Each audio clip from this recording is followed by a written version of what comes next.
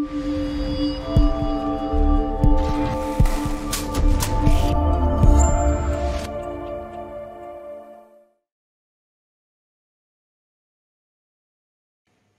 am gonna actually. I have this little superstitious thing I do is that I wait till 1:30, 59, so it's still on time, but it gives someone the extra uh, 59 seconds to get into the room, um, which really means I start at 1:31. Because um, there's always a few people that are scrambling to get in. Now we're in, we're in cyberspace, not meat space, so that may not matter as much as it usually does. But uh, I'm just going to sort of stall a little bit until we get to 1:31 p.m. Uh, and then this will be a 59 minute talk. So um, while, while while we're waiting, a quick um, just I, I don't know how to do the polls, but quick um, show of I was gonna say show of hands, but that doesn't really work. Uh, how many people here have touched or used a graph database before, or ha- hasn't you know kn- knows what they are, has used them, has played with them? What's the what's the audience like? So just feel free to put it in the chat. Um, never. Excellent. You're exactly the person I want to talk to never really used them, never, no experience. Excellent, excellent. Because uh, if you if you you've got uh, if you're a seasoned uh, graph user, this is totally not the talk for you. This is an intro to graph uh, databases with fun theme, uh, and so that that's what I'm. A um, couple of false starts. Okay. Um, so yeah, my goal here is to make this a a, a D&D themed graph. Uh, Arthur, uh, the D&D will be a fun theme for you. Uh, you may uh, find some uh, flaws in my uh, talk. Um, I am not an expert on anything, right? So uh, one of the things that I try to do is I try to uh, I, I, get excited about a topic and I learn about it and then I talk about it and then I share what I've learned. So what I'm really doing here is, is sharing what I've learned, and so this introductory level stuff. Um, um, but you know, if you haven't touched a graph database, it's useful. It's enough to get you started, and then you can go down that path and go further. So what I try to do with my talks, is I try to get some excitement built around a topic and get people started and then they can continue on their journey from there so uh, welcome to my talk dungeons dragons and graph databases and don't worry if you haven't played dungeons and dragons uh, i don't go super deep into dungeons and dragons stuff here um, and um, i run a game I'm, you know i play d&d so if you have any questions feel free to ask so um, oops got to go over here there we go so uh, my name is guy royse uh, i'm a developer advocate at redis labs and um, if uh, you are so inclined and are a Twitter user, I would sure appreciate a. Uh, is uh, my screen? Is that my screen there? It looks really weird. Does my screen look weird? My shared screen?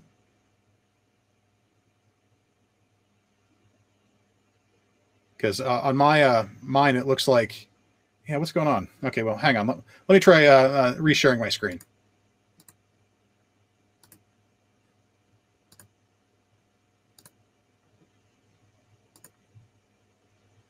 There we go. That looks better.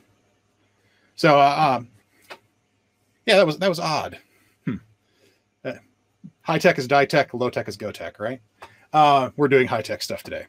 Um, so this is me. Um, if you're on Twitter, I sure would appreciate a follow. Uh, I'm at Guy Royse. I value my, I, I measure my value as and worth as a human being based on my number of Twitter followers, and so you could help my self esteem if you follow me. Uh, uh, I, I just post funny stuff and uh, occasional technical stuff and, and, what I'm up to. So uh, all the code that I'm going to have here and these slides and everything, and uh, the codes from all my other talks. Oh yes, my beard does have its own Twitter account. I did not create that; someone else did. Um, it's been kind of quiet lately. Uh, I think the pandemic is affecting it. Uh, but you can go to github.com slash guy royse all my code for all my projects are out there all my slides all that stuff and if you want to go read my dated blog you can go to guy.dev um, but since this is a D&D theme talk, I thought I needed a character sheet. And so this is my character sheet. And again, it's going janky. Um, I might have to. Okay, now it looks okay. Does it look good now? Okay. So uh, I'm going to try to do this without the preview slides. Um, so I, th- I thought I needed my character sheet. Um, and so here's I'm Guy Royse. I'm a lawful, I'm a, a neutral good uh, dwarven bard. Bard seemed like the closest approximation to developer advocate. Uh, level five because I've been doing this for about five years. Armor class 11 because I've got some uh, subcutaneous padding and uh, 32 hit points. Uh, my strength, dex, and con are kind of average. Uh, you know, I'm a little uh, hardier than people think, but I'm uh, not, I'm kind of slow. Not very smart or wise, but apparently I talk real good, and so you can expect the talk to be full of sizzle and no steak. That, that's what I'm promising to deliver today. So, um, yeah, that's my character sheet, and and I've been an avid D and D player for years and years and years, longer than I've been writing code.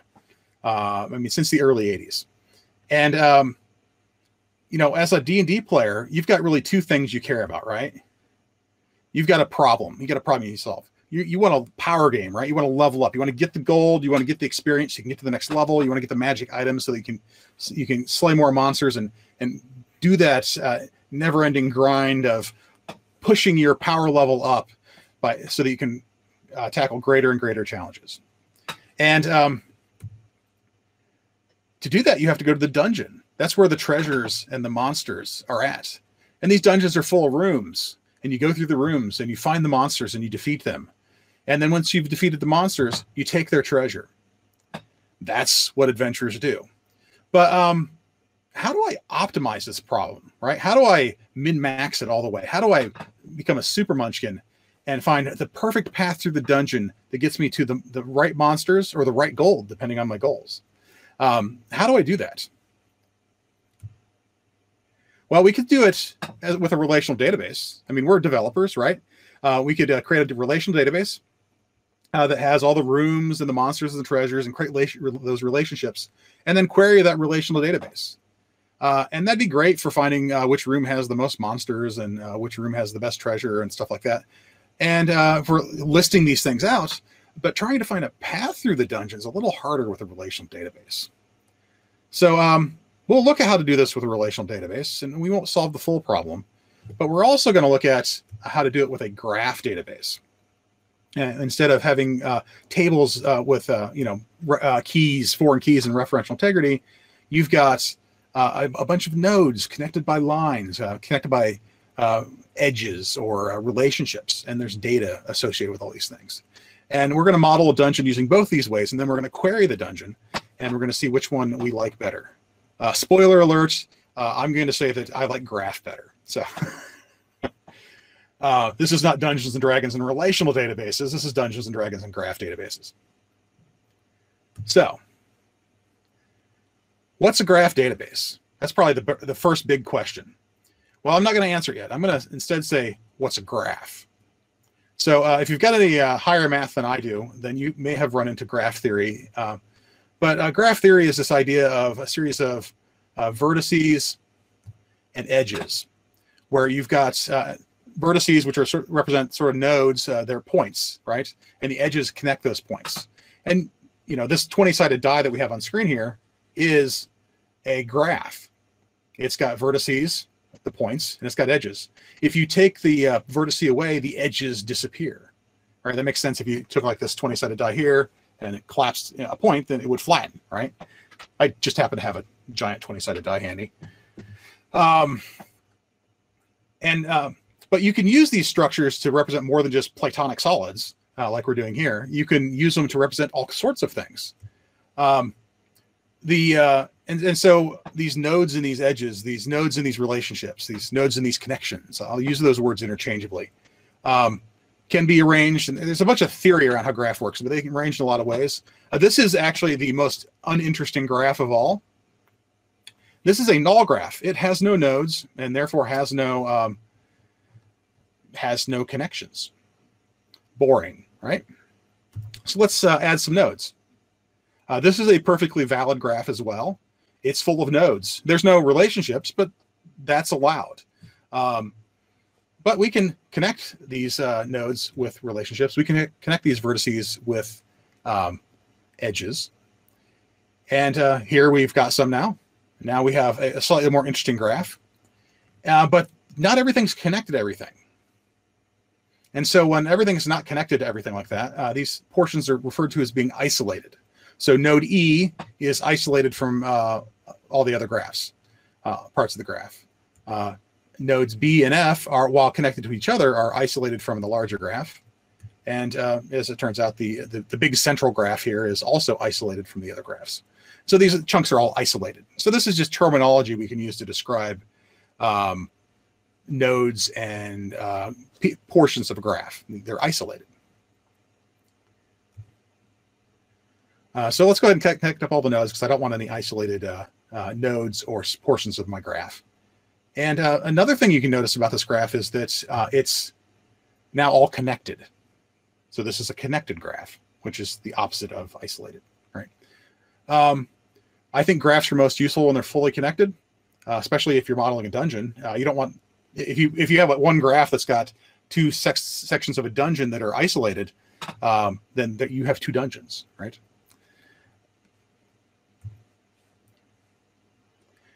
It's also um, undirected, and uh, undirected has the word un, the word the prefix un in front of it, and that suggests that uh, that there might be a thing called a directed graph, and there is. It's actually easier to explain what a directed graph is than undirected. A directed graph, oops, wrong way, has a well has directionality, right? It uh, these relationships now have a direction. Node C uh, is related, has a connection to node A um, in that direction. Uh, undirected is a graph that has uh, connections that are bidirectional, non-directional. It kind of doesn't matter. Uh, they are not directed. There's no directionality. Whereas a directed graph, these these connections are direct are directional. And um, so the, the uh, graph databases are well, the one I'm going to show you is, uses directed graphs, and um, you can actually kind of go crazy with graph databases, right? So this is showing a single node connecting to a single node in all these cases, like A connects to B, B connects to C, C connects to A. Um, but you can actually, um, there, there aren't any rules about how you can connect those. And I got a slide on that that I, I thought was coming next, but it isn't. Um, another thing we can talk about with, with graphs, uh, directed or otherwise, is we can talk about their degree. A node has a degree. So node A has a degree of three that degree is the number of relationships it has coming into it or going out of it uh, in a directed graph. In a, in, a, in a undirected graph, it's just the number of relationships it has. And so node three has a degree of three, node B has a degree of three, uh, node C has a degree of four. Um, it's just counting the number of relationships it has. Uh, you can also uh, use out degree and in degree describe uh, the number of relationships coming in and the number of relationships going out. So this is terminology that we use to talk about graph databases.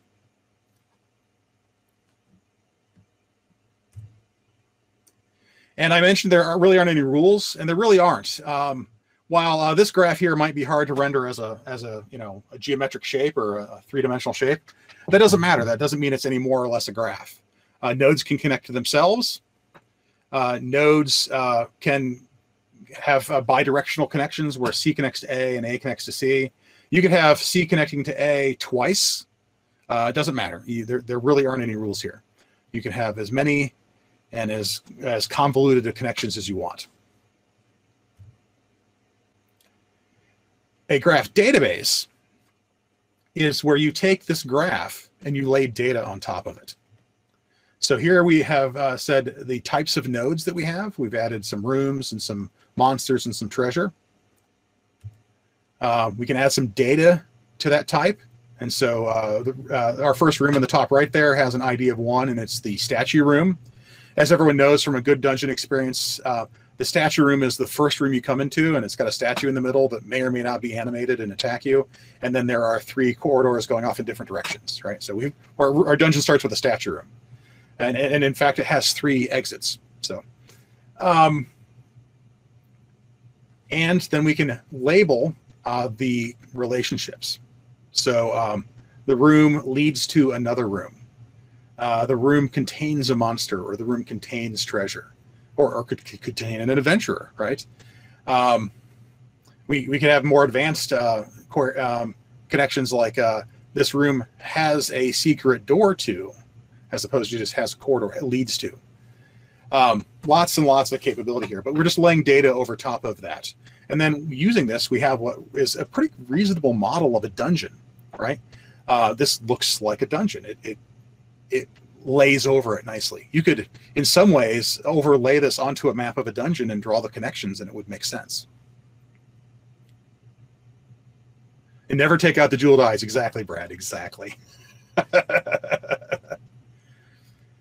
uh, so uh, I've talked a little bit, quite a bit about nodes and relationships already. Um, nodes uh, represent items, right? I tend to think of nodes in a graph database as being the nouns, right? Um, they have labels uh, for their type, like it could be a room. Um, some graph databases will allow uh, rooms to have multiple labels or nodes to have multiple labels. So a thing could be both a room and a chamber, for example. Uh, and they can have attributes, name value pairs. So this room has an ID and a name uh, of Armory, uh, spelled with a U because we're playing D&D, and so making it British makes it seem more D&D. um, and uh, nodes, like I mentioned earlier, in graphs can stand alone. You just put a node out there, and it can have its ID and its attributes and its label, and have fun. And you can just go query it. Um, relationships connect nodes, and um, they have a type, which is just like a label, but uh, they only have one type. Uh, they have a direction because uh, graph databases are usually uh, directional, and uh, they can have attributes as well, as well. I tend not to like to put attributes on the relationships because if I find that I'm needing to add attributes to them, that usually means it's a node. It would it work better as a node. Um, and I, I think of uh, the relationships as sort of the verbs. They're, they're like verbs, like this room leads to another room, right? Um, but you can, not put attributes on them. Uh, and uh, um, like I mentioned with uh, you know graphs earlier, if uh, a, a, node is removed, then its uh, relationships are destroyed. They're, they go away as well. So this is sort of how nodes and relationships uh, work in a graph database. And like I said, you know, I think of them nouns and verbs, and so they make sentences, right? the room contains a monster and you know you get room contains monster. All I've done is add some uh, articles, and it turned into a sentence. Um, you could actually uh, flip this, right? The directionality is kind of arbitrary. It, it's just how you want to design it. Uh, and it doesn't really even impact the queries that much. Uh, you could say the monster is contained by a room. Um, however, um, I think that's clunky. It ends up being a voice in the passive, sen- uh, passive sentence in the passive voice. And as my English teacher told me in school, uh, the passive voice is to be avoided. So there you have it. Yes, uh, I will take a pity, pity applause and laughter for that joke. Um, thank you very much. Uh, but yeah, so they read like sentences. So that's the theory, all right? We get enough theory now. Let's let's get down to the like the technical nitty gritty. Let's roll some dice and see how this thing actually works. So, um, because we've still got a problem, right? I still haven't figured out how to uh, go through the dungeon and uh, find all the monsters and find the gold in the, the best way possible. And so we're going to try this with relational databases, and we're going to try it with graph databases, and we're going to see uh, see how that goes. So we can sort of compare and contrast. So um, and to do that, we're going to use uh, a couple languages. One that you are probably very familiar with. I'm assuming uh, that you've done relational database work and that you've touched, uh, you know, uh, SQL before. Uh, you know, SQL select rows and columns from tables with joins. Here, this is sort of a select everything from uh, the the uh, dungeon tables. you select the all the columns we care about from all the tables we care about and join those tables together on foreign keys. Right. This is your basic SQL join.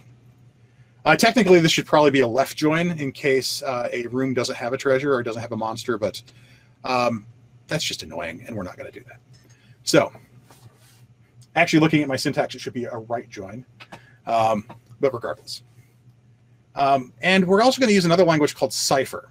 Cypher is a, a query language for uh, graph databases. Uh, it was created by Neo4j and then re later released as a um, uh, to the, the, the, larger community. And so uh, I work for Redis Labs and uh, we're using Redis Graph. We've got Redis Graph and my demos will be in Redis Graph today, of course.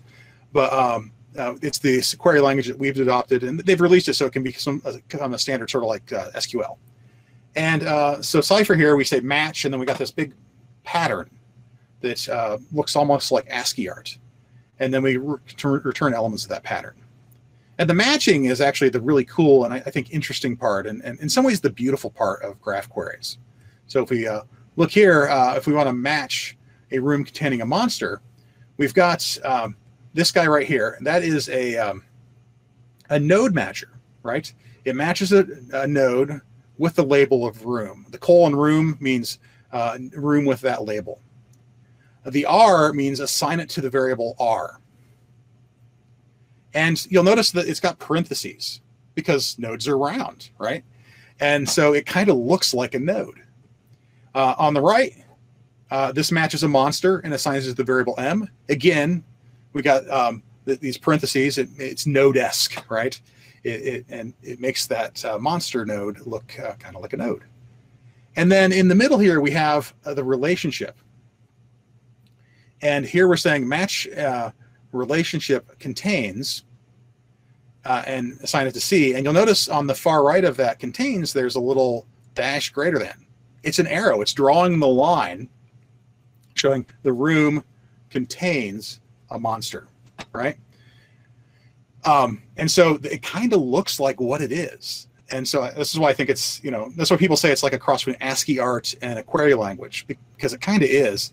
And I, it's got an elegance to it that I think is really cool and immediately sucked me in as soon as I saw this. I'm like, oh, this is so cool. And oh, I, this is like databases around nouns instead of databases around tables. It's good stuff. So using Cypher and using SQL, we're going to create some rooms. We're going to do, I'm, I'm going to hit the four basic CRUD operations, right? Create, read, update, and delete. We're going to do those for rooms.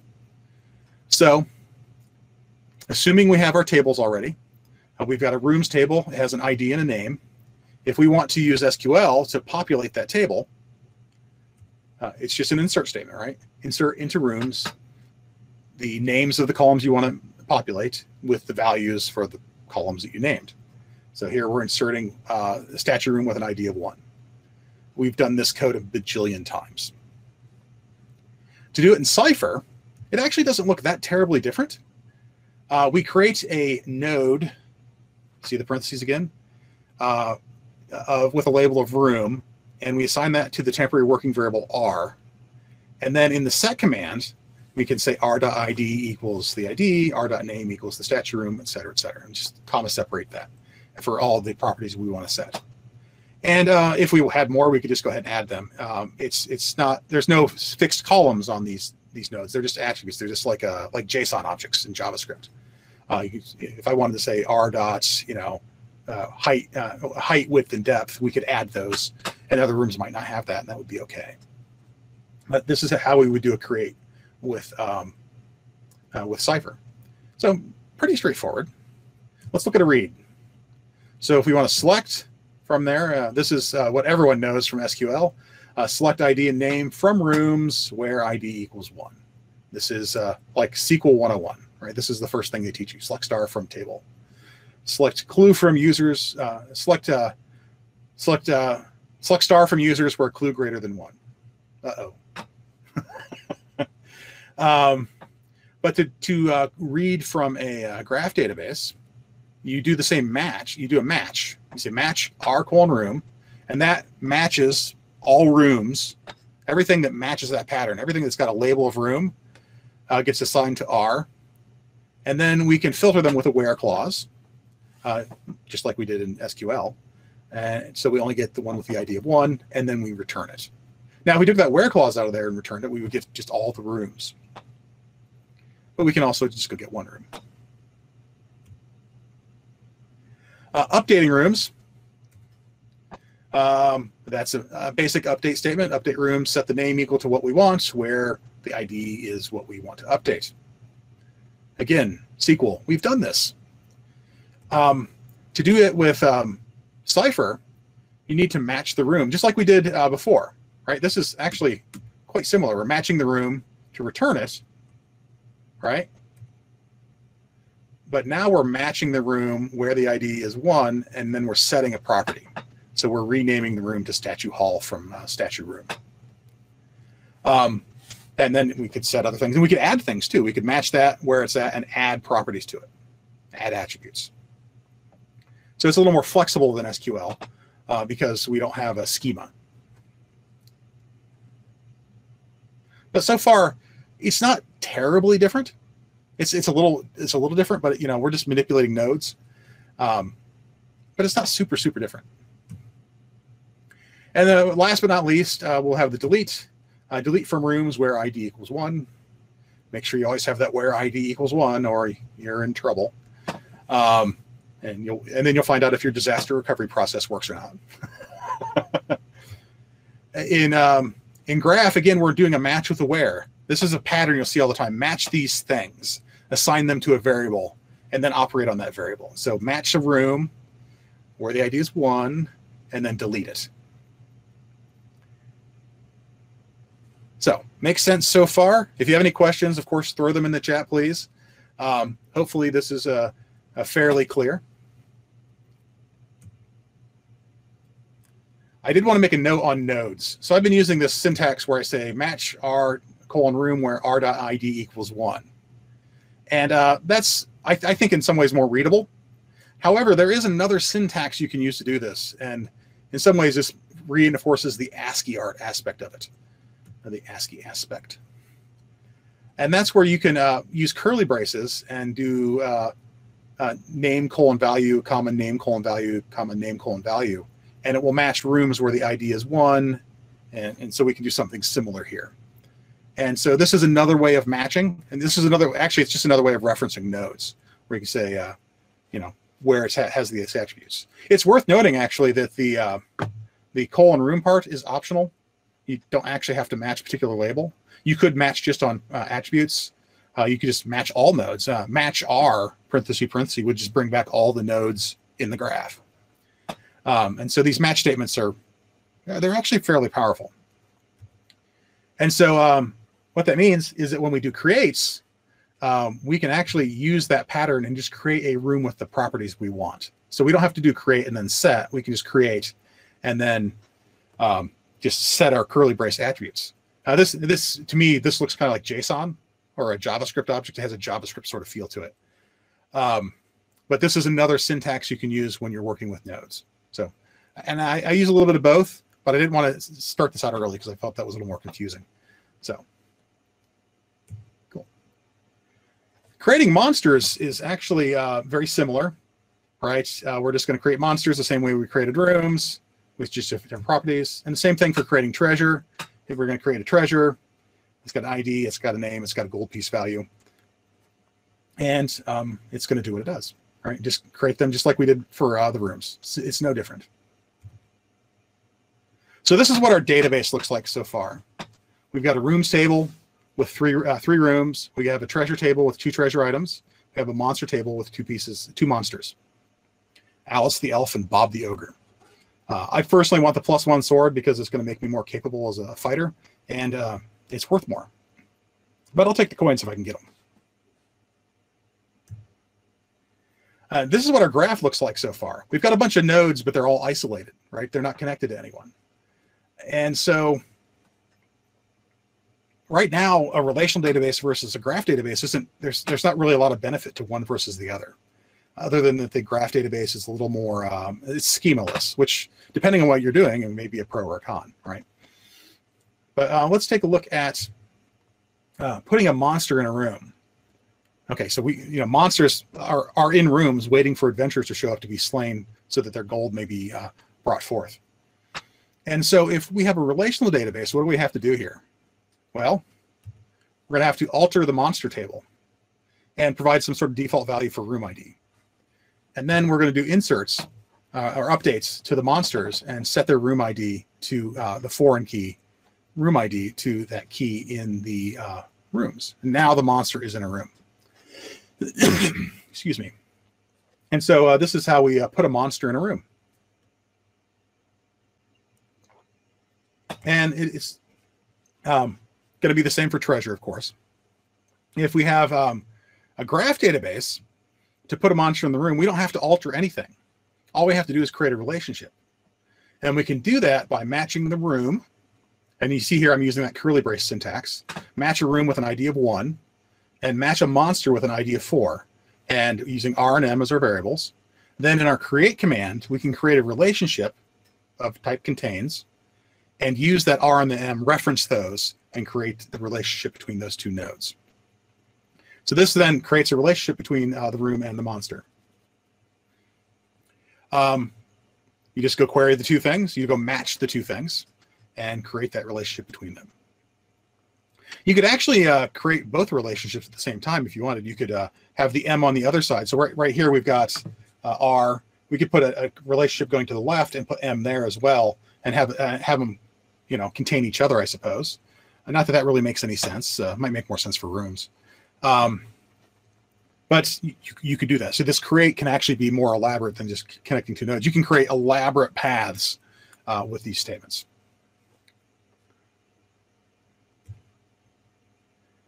Uh, there's a caveat here, which uh, when you first start get started in Graph, uh, I ran into this problem. Is when you go to do create, you're like, well, I want to create a room that has this ID, and and if you if one exists that perfectly matches, I believe it will not create it, but that doesn't usually happen, and you don't know. So if you do this statement right here, uh, these will create duplicate rooms and monsters with the same IDs, but uh, no names. And then create a new contains relationship between them. So you, you don't want to do create for everything. Now, if you're just you don't have a room and you don't have a monster and you don't have a relationship, you can just call create and create one long thing. Uh, but if you they exist already, you'll you'll create a second one uh, of each of the things you're relating. So uh, the previous syntax is safer if you have existing nodes.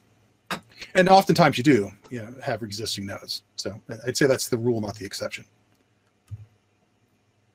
Putting treasure in a room, again, is the same uh, process where we create a foreign key and populate it. And of course, putting treasure in a room works exactly the same way. Uh, we're creating a relationship between the room and the treasure. So it's just like with the monster. And so now here's our relational database. It's a little more complicated. Uh, the rooms have a one-to-many relationship with treasures, and rooms have a one-to-many relationship with monsters. So we've, we've built these databases before. Uh, here's our graph so far. We now have uh, rooms that are still, we still have isolated sections of the graph, but each room now has whatever it contains. So room one contains, uh, the statue room contains Alice the elf. And um, uh, room two, the barracks, has a plus one sword. It's barracks, right? It makes sense that there'd be weapons there. And the armory um, contains both uh, a, big, a pile of coins and Bob the ogre. Uh, but our rooms aren't connected yet. We'd like to do that. But with what we have already, we can already start doing some interesting queries. We can do some munchkining and find, for example, uh, the rooms that have the most powerful monster or find the room that has the most powerful gold so that we can know that that's where we want to go. So we can we can select this and say, give me an ordered list of rooms so that I know that I'm going to go here to get the most XP and then here to get the next most and the next most. So I can optimize, so I can munchkin my game and really uh, level up my character. And the same thing for if I, I just want to be greedy and, and, get treasure, I can get a, a, prioritized list of treasure items and what room they're in. And so uh, let's look at what some of those queries might look like. If we want to farm all the XP, uh, using a relational database, um, we just uh, do a join, right? We select um, the room and the, uh, the monster, uh, the monster's XP specifically, uh, from the rooms and the monsters, uh, and then we join it on the ID, the room ID that's in monster on that foreign key. and then we order it descending so that the biggest room comes up first. And so this gives us the room that has, as Brad put it, the jeweled eyes. Um, that re uh, release the super powerful big bad boss that uh, you don't want to fight. Excuse me. So um, this is this is how you would do that with a SQL database. With Graph, uh, we've got uh, these rooms that contain monsters, and uh, it's actually kind of similar. We want to match rooms that contain monsters, and so we have this room node, and the contains relationship with the directionality, and then the monsters and then we can return the individual attributes on those, uh, r.id, r.name, and m.xp. We can actually return r and m as well if we just want the nodes themselves. Uh, and then we can order them by the experience points, and then uh, descending again. So this is actually fairly similar to the uh, SQL statement, but you're you're looking for that relationship between them. And if you have a room that has uh, uh, multiple monsters, this will bring back the room multiple times. So if you got a room with two monsters, you get the room and the monster and the room and the other monster. Uh, but it, will still work, and it'll still give us that prioritized list of uh, monster XP. So, any questions so far? Good. Uh, getting all the gold. is a similar process. Uh, we can get the rooms, we can get the treasures, do the join in SQL. This is just like we did with uh, monsters, right? The treasure and the monster are really the same problem. And when we go to do it with graph, it's the same thing. We've just swapped out monster, uh, treasure for monster.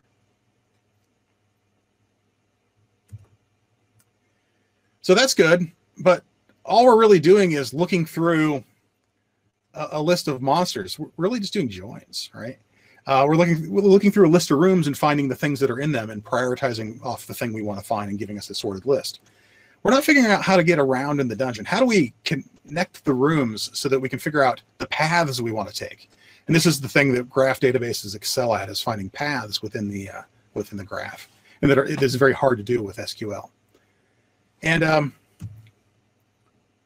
so let's look at connecting the rooms up. We need to connect these rooms so we can start doing these queries. Now, if we want to connect the rooms uh, with a relational database, uh, some of you probably have a good idea what this looks like already, right? You're going to create a connections table, and it's going to have the rooms that are connected to other rooms. And so uh, it's going to create this room uh, is connected, has a connection goes from this room and to this other room. And so we need to create a table with those two IDs in it. And then we need to start populating it. And so this basically means that the rooms have a, excuse me, a, many-to-many relationship to each other. And many-to-manys are always always means you have an intermediate table, uh, which is our connections table. Now, normally when you have many-to-many, it's like the room can have many monsters and the monster can have many many rooms, for example, and then you just have an intermediate table. But because it's rooms to rooms, we have this self-referential table, um, which which totally works. Um, you can represent the data this way, and, and, it works, and it's it's a valid way to solve the problem. Querying it uh, to find paths is very difficult. In Graph, uh, connecting the rooms isn't any different than connecting anything else. We match the two things that we want to connect, and then we create um, a relationship between each other. So here we've matched room one and room two, assigned them to R1, assigned it to R2, and then we create that leads to relationship between them with a create command. And so the relationship between two rooms is no different than the relationship between a room and a monster or a room and the treasure. It's it's just another relationship. It's just another connection. It's just another uh, edge in the graph. And uh, this means that um, you can connect these things up lots of crazy ways. You can do it any way you want. You have the rooms go any way you want. You can have them refer to themselves. Um, and like you may, you may have noticed in our graph, uh, the room contains a monster and the room contains a treasure. Um, if you were doing that, you know, they're, they're both contains relationships, but that's okay because the concept of contains makes sense, right? Um, but it's all just relationships. It's just nodes and relationships. That's all a graph database is. So this is what our relational database looks like now that we've made these changes. Uh, it's gotten a little more complicated. Here's what our graph database looks like. Look familiar? This is our dungeon uh, graph from earlier. Uh, room one leads to itself. Um, actually, we, uh, you know, room one's got a one, two, three, four, five, six, seven. It has a degree of seven. It's it's much more uh, degreeful than it was before, isn't it? Um, and um, yeah, this is what our graph database looks like. It, it, it actually kind of looks like the dungeon you can look at it and understand it as a as a human. It's intuitive. So now that we have a fully populated graph database, we're going to do some pathing stuff. And I'm not going to show you how to do this with SQL because, quite frankly, it's a little bit of a pain in the butt ski. And um, and I and I, I really the, the, the sole reason I would show it to you would be to show you just how hard it is in comparison. But I think if you've done any database work, you can see how sort of recursive SQL statements are just intrinsically hard. Uh, so, um, but it's super in time. We're going to uh, come up with queries that find the best path to get the gold, to get the monsters, paths from where you are to, you know, the, the biggest treasure in the room, that sort of stuff. And we're going to do that using uh, variable length relationships. So this is a new aspect to the Cypher queries that I haven't talked about yet. Uh, these two guys, uh, R1 and R2, both uh, represent the nodes just like they always have. But uh, the relationship where we're matching has this star in it, this asterisk. And um, that says, go ahead and hop several times if you need to to get where you're going. Using the leads to relationship, go from room to room to room to room and match all the paths. You know, match from this room to all the other rooms in the graph and from every room to every room. And what's the path? What are all the paths that you can take to do that? And um, that's what leads, that's what the star does. It says, do them all. Select multiple paths through the graph. And you can also uh, specify um, a minimum and number, a maximum number of hops. And so one is the default if you don't, don't specify it. But for example, this will say, find all the rooms from room one that leads to another room that are between one and three hops away. So find me all those paths that are within three hops. You could replace that one with a two, and then it would be things that are two or three hops away. You can put whatever numbers you want in there. And so uh, you can find things that are nearby,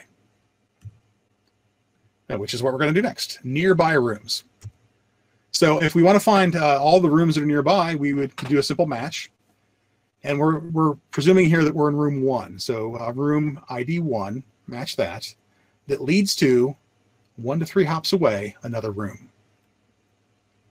This will give us uh, and get a list of all the rooms that are uh, uh, one, two, or three hops away. And that's what it does. Uh, I think this is kind of neat. Um, it, it's it's a you know find things around me. Uh, you can see how this might be useful in like a if you're doing like social media. Uh, you could do queries like this. Find the friends of my friends. Maybe they're my friends too. Find the people that are not within one hop of me, but are two hops from me. That'd be friends of my friends, but not people that I'm already friends with. Uh, you can find the nearby rooms with the most gold um, using um, a similar query. Say, uh, all I've done is tacked a for the, the destination room uh, that it uh, contains treasure. And then I return uh, the ID and the name of the room that it's uh, all those destination rooms and the gold piece value. And then we can order it by the gold piece and get a list of um, you know, most valuable rooms near me. And then if we limit to one, we'll get the most valuable room that's within three hops.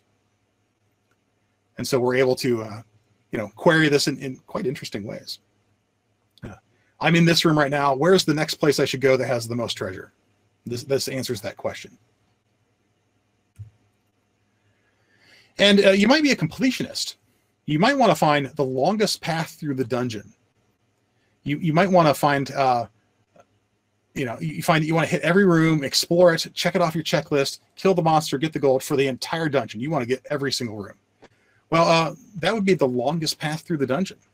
And so you can say, uh, uh, return a match where it says colon leads to, uh, you know, the same room leads to room with the star. But here we're saying P equals in our match statement. And that P equals um, takes that path, all the paths that we have, and um, assigns it that to a variable P. So the path itself that we've taken can be assigned to a variable. And then we can return the nodes in that path by calling a nodes function. We can return the length of that path calling a length function. And um, then we can order by that length, descending, and get the top one on the list. And so this gets us the longest path in the dungeon. Now, uh, it's arguable that the longest path is technically infinite because you you would have circular stuff going on in there, but the, the graph database takes care of that. That's that's not an issue. Um, it will find the longest path that's not uh, recurrent. So um, this is kind of a neat query Right? do that with your uh, do that with a relational database. I, I double dog dare you. I triple dog dare. It's triple dog, right? I need to do a Santa Claus themed uh, talk sometime, or a, a Christmas story theme talk. And we can find the room with the biggest treasure using the with. I think the with is uh, kind of interesting. It's it's another uh, command we can add to our Cypher query, where we can sort of create a, a variable as the result of a match. So here we're matching uh, max treasure, uh, you know, uh, matching all the treasures in the in the graph, assigning them the variable max, and then the with, and then we call a function max on that gold piece value, and then we assign that to a variable. And now that variable max GP is available in subsequent matches, and so uh, we can in the next match match rooms that contain treasure, where the gold piece value is equal to that max gold piece value. Now this query has a flaw because if there are two rooms that have that same max value, it's going to return them both. But you know, I, I view that as just it's nice to have options. It's not going to return the room with the biggest treasure. It's going to return the rooms with the biggest room or rooms with the biggest treasure if they're equal. Uh, and then we just run the name and, the name of the treasure and the gold piece value. And the path to the gold. This one's uh, a bit of a piece of work. Um, it's a long, a long query, but here we're doing that max treasure check again uh, match, and then we're feeding that into another match that has a with that says uh, find rooms that contain the treasure, and then uh, get the ID of that room and make that the destination. So now we have a max GP, which is whatever the maximum treasure item is. We've got the max, um, we've got the destination of the room that contains it. And now we can do a path match that says uh, from the start room, which we're assuming is going to be one, uh, how many steps, however many lead to hops you need, to the stop room, where the start room is ID of one, this is presumably the room we're in, and the stop uh, room is uh, equal to the destination ID that, which is the room that has the most treasure. And then we can get uh, the nodes and the path, uh, the length, and spit out a path, the shortest path that will take us to uh, the room with the most treasure. Uh, and we, we, it's shortest because we do ascending instead of descending and then a limit of one. So we're, we're sorting by the length again. So we can find the path to the most gold. So um, I promise this isn't theory, and I actually have a demo prepared. So is everyone ready to see the demo? I, I hope so, because I'm going to do it. so uh, I have created, uh, I'm, I'm going to cheat a little bit, and I've got some queries here prepackaged, ready to go, just in case I get stuck. Uh, and quite um, shortest path to the most gold is quite frankly kind of long. Uh, it's all the way over here on line uh, 280. So I'm probably going to copy and paste that just because I don't feel like typing it. Uh, but what I'm going to do first is, so I've got Redis Enterprise set up in the cloud. Um, I've got a cloud instance of Graph, uh, Redis Graph running on it. And so I'm going to hit that one. Uh, I didn't have to worry about conference Wi-Fi because I'm from home and I can, if my Wi-Fi goes out, then I've got bigger problems. one advantage of remote conferences is you're guaranteed your Wi-Fi works or you're not giving the talk. Um, but I have built a, a dungeon, a monster generator, a dungeon generator. And I'm going to make sure that I've got my environment set first. Did I just uh, type something I didn't want to type? Yep. So I've got a, a slash um, source dot slash environment. That's going to set some environment variables with my password because I don't want all y'all to see it. Uh, and then uh, I've got wrote this little program in JavaScript called um, Dungeon, and it generates a random dungeon with random names and random room names and everything. So it's, it's actually kind of fun. And this is all out in GitHub, so please go check it out. Uh, and I'm just going to npm start it, and it, it actually runs pretty quick. Um, yeah, a couple seconds. We've got a newly generated dungeon with 20-ish rooms. And then I'm going to uh, launch Redis CLI. And again, I, I, have a little shell script to do that for me because it hides my password. And uh, if we go in here and type keys, star, we can see that I've got a, uh, one key. By the way, never use keys, use scan uh, named Dungeon. And if I ask for info on Dungeon, uh, it doesn't give me info. That's fine. And um, so I can query this dungeon from Redis Graph saying graph.query and then the key name, and then in quotes, my graph query. So if I want to, for example, just select all the nodes, match n, return n, that will return all match all nodes regardless of label and return them. And so um, executed in about a quarter of a second. And it looks like we got 74 nodes altogether. Um, and I've got a couple extra nodes in here that, that aren't in, in, my sample. Uh, the uh, I added a dungeon node, and then the dungeon has has entrance and has exit, so that you can uh, say find a path that gets me through the dungeon from the entrance to an exit.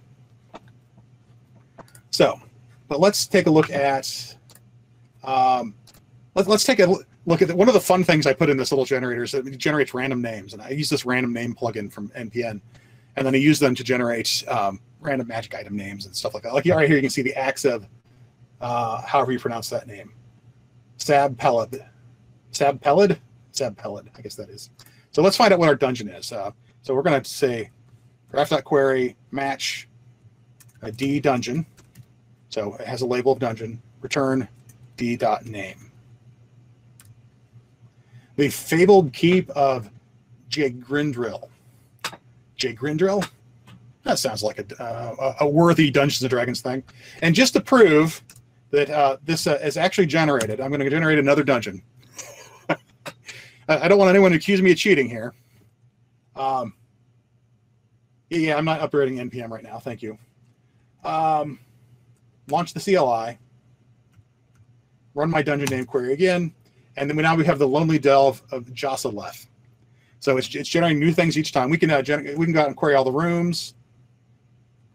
We like get the names of the rooms.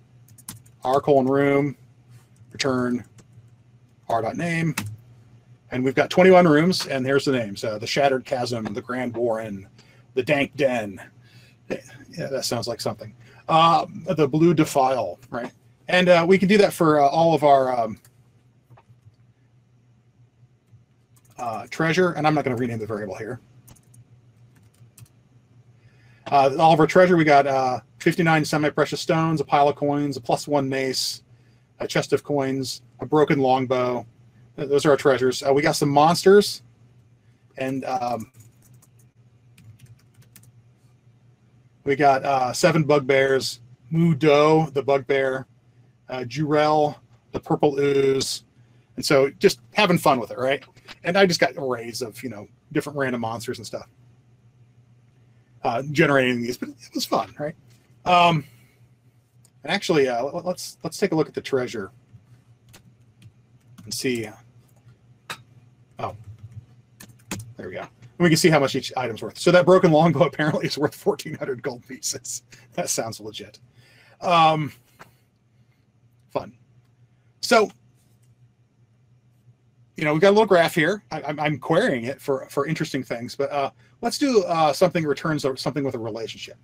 So look for let's look for the, all the rooms that contain the treasures we care about. And one thing that I did here uh, that I didn't do in my samples is is that the rooms can have multiple treasures and the rooms have can have multiple monsters. So, oops. And this has got to be graph dot query because that's the Redis command and then dungeon, because that's the key, and then quote. Lag. There we go.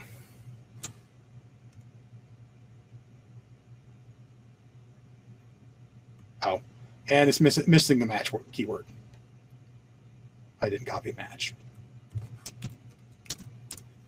So this returns, um, I mean, let me embiggen this a bit for y'all. There you go all the rooms and all their treasure. In fact, I probably should uh, return uh, the room's ID as well. Um, I can use the ID command. I didn't put ID properties in here, but so room number eight is the Dank Den, and room number eight is the Dank Den. And uh, it has so it has two treasure items, right? Right here, we've got a um, plus one mace and um, four gems.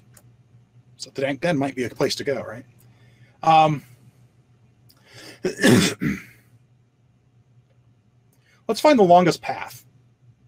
So I've shown you how to do this already, but I'm going to go ahead and copy and paste this in here. So graph dot query dungeon quote paste quote. So we're matching a path. The dungeon has an entrance to a room that leads to n number of rooms that has an exit to the dungeon and we're going to return the nodes, the relationships, and the length, and order uh, as L, and then order by L descending to find the one.